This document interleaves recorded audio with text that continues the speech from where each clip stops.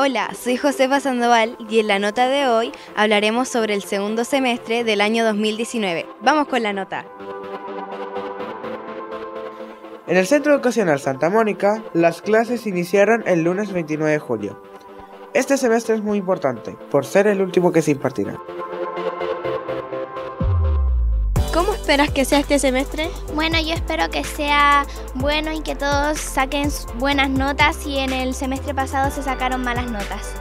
Yo espero que sea bueno y que todos saquen su mejor esfuerzo.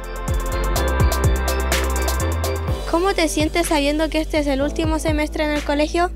Eh, bueno, me da pena porque yo es mi primer año en el colegio y ya lo van a cerrar y voy a extrañar a todos mis compañeros mal porque voy a perder a mis compañeros y voy a perder todo. O sea, voy a extrañar a las profesoras, los talleres y todo eso.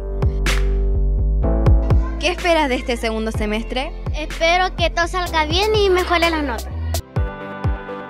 Bueno, espero que se pase bien porque mm, esto es lo último que queda y mm, que, que o sea, se pongan las pilas, que todo les vaya bien.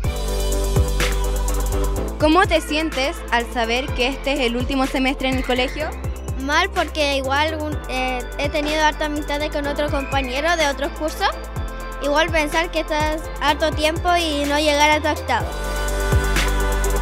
Eh, me da pena porque yo he tenido así como 10 eh, años de trayectoria en este colegio, sabiendo que mi hermano está aquí a mí también me hubiera gustado que él hubiera terminado también este colegio, como yo lo voy a hacer.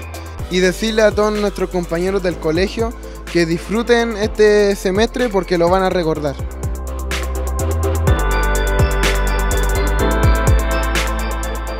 ¿Qué se viene para este segundo semestre?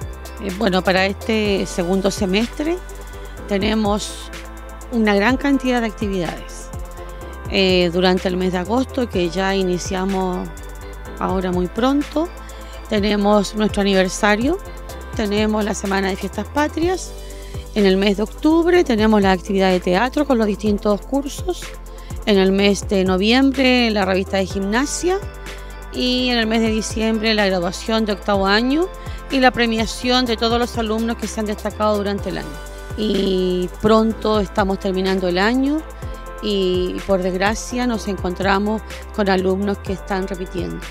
Entonces, más que nada es dedicación, disposición de parte de, cada uno de ellos y proponerse el salvar el año.